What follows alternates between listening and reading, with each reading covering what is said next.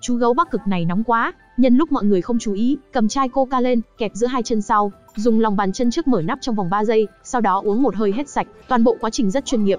Đột nhiên, tách một tiếng, gấu Bắc Cực được tung lên mạng, trở thành hot TikToker chỉ sau một đêm, thu hút vô số khách du lịch đến sở thú tham quan. Tinh tinh đen bên cạnh cũng không chịu nép vế, không chỉ có thể uống coca, mà còn biết tán gái, biểu diễn một tiết mục nhảy đường phố ngay tại chuồng, khiến mấy em gái vui sướng hét ầm lên. Cứ như thế, du khách bỗng chốc đông như chảy hội, cứu vãn sở thú sắp đóng cửa này. Nhưng gấu Bắc Cực biết uống coca và tinh tinh biết nhảy hip hop là có thật hay sao? Hãy cùng cuồng phim xem hết video để biết câu trả lời nhé. Người cứu vãn sở thú này chính là anh chàng đẹp trai tên Teso. Anh ta là một luật sư tập sự, được công ty giao nhiệm vụ tiếp quản vườn thú thay cho ông chủ cũ, yêu cầu Teso phải vực dậy vườn thú trong vòng 3 tháng. Nhưng trong sở thú này làm gì có động vật, chỉ có một con gấu Bắc Cực mắc chứng bệnh khó ở thôi, nhân viên cũng chỉ còn lại 4 người. Vậy Teso của chúng ta rốt cuộc làm thế nào vậy? Teso mời mọi người ăn cơm, đề nghị hay là mua thêm động vật. Nhưng nữ thú y nói rằng những loài động vật quý hiếm sắp tuyệt chủng như hổ, voi, sư tử bị cấm buôn bán. Du khách lại chỉ thích xem động vật quý hiếm, Teso phải làm thế nào? Bữa ăn này vừa kết thúc, Teso và chủ cũ của vườn thú say bí tỉ bước đi trên con đường nhỏ. Đột nhiên, Teso nhìn thấy một con hổ lớn đang núp trong bụi cây, khiến anh sợ đến mức ngã gục xuống đất, ôm chân ông chủ cũ cho đỡ sợ. Chủ cũ vườn thú nhìn thật kỹ, hóa ra nhân viên muốn đem mô hình hổ đi bán, điều này khiến Teso nghĩ ra cách cứu vãn. Thời gian trôi đến sáng hôm sau, anh mặc đồ sư tử, đề nghị mọi người mặc đồ động vật để đóng giả làm động vật, bởi vì sẽ chẳng ai ngờ trong sở thú lại có thú giả. Nhưng Teso đóng giả kiểu này, chắc chắn ai nhìn cũng có thể nhận ra. Thế là anh cùng mọi người đến gặp một chuyên gia chuyên làm mô hình đạo cụ phim ảnh, thuê ông ấy làm bốn bộ đồ, lần lượt là gấu Bắc Cực, tinh tinh đen, sư tử và con lười. Vì không muốn bị du khách nhìn ra sơ hở, Teso yêu cầu mọi người ngày nào cũng phải mô phỏng tập tính của động vật. Người mô phỏng tinh tinh đen ngày nào cũng phải đi bộ khom chân, thỉnh thoảng còn tự đấm vào ngực mình, thậm chí lúc anh ta tập gym cũng khom chân luyện tập. Người mô phỏng gấu Bắc Cực là ông chủ cũ, học theo phim tài liệu gấu Bắc Cực, áp sát mặt xuống nền nhà để di chuyển như một con sâu đo. Người mô phỏng sư tử thì đeo bàn chân hổ trong nhà luyện tập đi bằng bốn chân. À, chính xác thì là quỳ. Người mô phỏng con lười lợi dụng cơ hội làm thêm ở siêu thị, động tác chậm đưa bao thuốc cho khách, ai cũng mô phỏng đến mức thành thạo cả. Cuối cùng đã đến ngày mở cửa, trước khi du khách đi vào, Teso đưa cho mỗi người một cái tai nghe để truyền đạt thông tin. Anh nói với bốn người, chỉ cần các bạn giơ tay phải lên thì âm thanh gầm gừ của động vật sẽ phát ra. Tất cả mọi thứ chuẩn bị xong xuôi, mọi người đội đầu động vật lên, còn Teso thì ngồi trong phòng camera quan sát tình hình. Lúc này, nhóm du khách đầu tiên có mặt là các bạn nhỏ mẫu giáo cùng với đoàn du khách già. Cô gái phát huy bản tính của con lười, ôm thân cây không thèm động đậy. Các bạn nhỏ quan sát thấy khá mới lạ, nhưng lại cảm thấy con vật lông dài này đúng là buồn nôn, thế là đòi đi xem sư tử. Lúc này, cô gái đóng giả sư tử có chút vấn đề, do bị dị ứng với bộ đồ sư tử, nên cô đang lắc qua lắc lại, trà sát cơ thể vào gốc cây. Teso thì hỏi, sư tử, cô làm gì thế? Sư tử trả lời, ai ra, thật sự rất ngứa. Teso chỉ biết động viên, cố gắng nhịn đi. Lúc này các bạn nhỏ đến nơi, cô gái vội vàng nằm xuống, nhưng mà mông lại quay ra ngoài, Teso vội vàng bảo cô ấy quay đầu ra. Lúc này, bé gái muốn nhìn đuôi sư tử, bảo cô giáo đưa mọi người cùng nhau chạy ra phía sau. Sư tử lập tức quay đầu lại, lại lần nữa đối mặt với bọn trẻ. Các bạn nhỏ không nhìn được đuôi sư tử nên khá thất vọng, thế là lập tức thay đổi vị trí đi xem gấu Bắc Cực. Nhưng không ai ngờ, ông chủ cũ đóng giả gấu Bắc Cực bị bệnh sợ đám đông, nên trốn sau ngọn núi giả không chịu ra ngoài. Lúc này, Teso nói rằng, Alo, ông chủ, ra ngoài hai bước là được rồi. Ông chủ vườn thú đi bằng bốn chân, run cầm cập bước ra, không ngừng tự tẩy não mình. Tôi là gấu Bắc Cực, nhưng cảnh tượng này khiến các bạn nhỏ ngạc nhiên hỏi cô giáo. Con gấu Bắc Cực này tại sao lại lạnh đến mức run cầm cập nhỉ? Cô giáo này cố gắng giải thích. À, các con không biết đâu, gấu Bắc Cực sống ở vùng Bắc Cực lạnh giá, cho nên đến đất nước ấm áp sẽ cảm thấy lạnh, là như vậy đó. Lời giải thích này khiến tự bản thân cô giáo nói xong cũng ngơ ngác luôn. Tinh tinh đen còn khoa trương hơn, nhìn về hướng mấy người già, dùng hết sức đập bùm bụp vào ngực mình, suýt nữa đấm nổ ngực luôn. Nhưng, chuyện người đóng giả động vật quả thực chẳng có tác dụng gì, du khách thậm chí mỗi lúc một ít đi. Teso cảm thấy là do chủng loại động vật quá ít nên mới không thu hút được khách, lại tìm đến chuyên gia đạo cụ phim, thuê ông ấy làm thêm một con hươu cao cổ. Nhưng chuyên gia này không có đạo đức nghề nghiệp, chỉ làm mỗi cái đầu với cái cổ rồi ôm tiền bỏ trốn.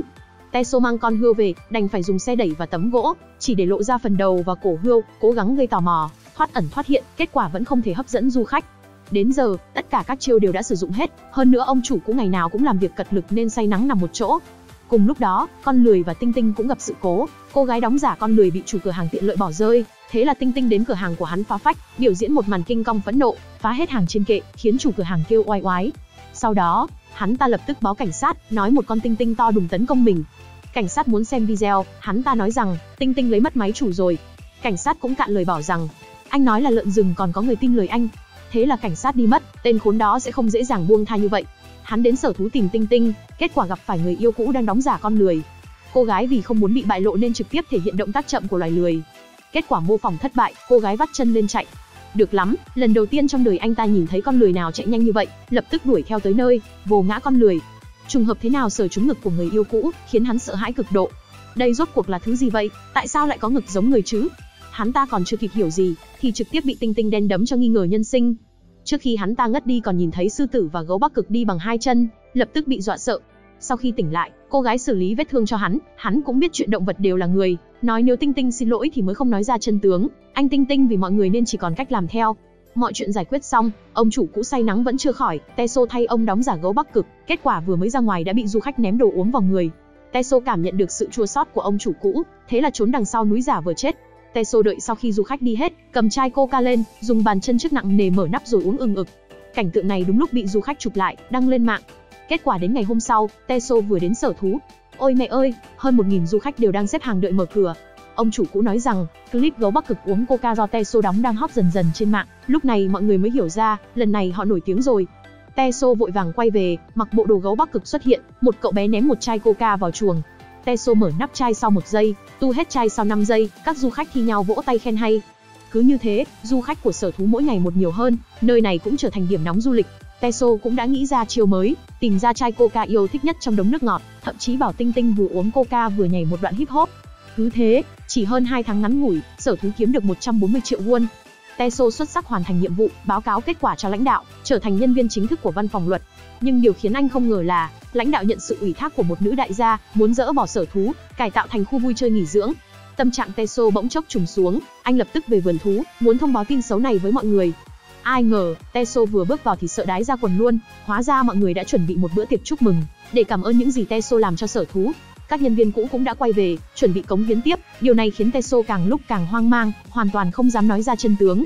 Nhưng lúc này có người thay Teso nói ra sự thật, nhân viên cũ này vừa mới gọi điện thoại cho chính phủ.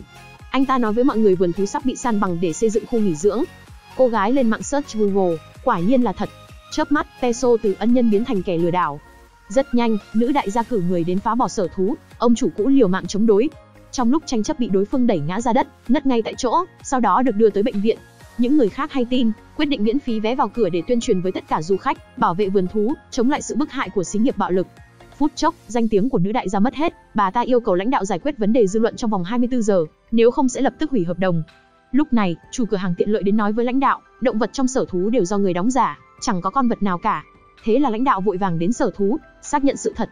Teso vội chạy đến nói với con lười rằng, lãnh đạo biết được sự thật rồi, mọi người lập tức rút lui. Lãnh đạo đi vào chuồng, sau đó nhìn thấy gấu bắc cực đang nằm trên đất, anh ta đi vào kiểm tra nhưng mở nhầm cửa thông ra ngoài. Tinh Tinh và lười nhân cơ hội đó, dùng vải phủ lên bộ đồ gấu bắc cực của ông chủ cũ. Lãnh đạo đập thật mạnh vào cửa sắt, bảo gấu bắc cực đi uống coca để chứng minh nó là do người đóng giả. Nhưng anh ta không biết, con gấu này là gấu bắc cực thật. Chính vào giây tiếp theo, nó cắn một miếng trúng áo của anh ta, mọi người hợp sức lại mới cứu được. Gấu thật cũng đã chạy ra ngoài chuồng. Lúc này lãnh đạo ý thức được chủ cửa hàng tiện lợi là kẻ lừa đảo, người làm sao khỏe như vậy được, thế là lập tức muốn quay về. Nhưng chính vào lúc đi qua hươu cao cổ, cổ của hươu đã lật ngửa ra ngoài. Lần này, không chỉ lãnh đạo, ngay cả các du khách cũng biết động vật trong sở thú đều là giả. Lãnh đạo lập tức quay lại, cầm gậy uy hiếp gấu thật, ép nó mau chóng cởi đồ hóa trang ra.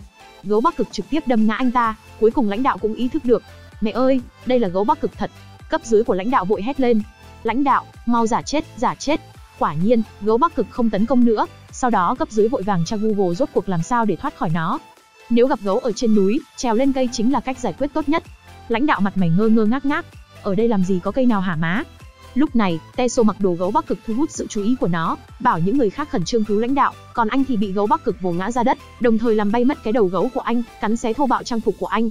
Teso chạy một mạch, lao vào trong lồng sắt, gấu thật chỉ có thể tức điên đập vào cửa.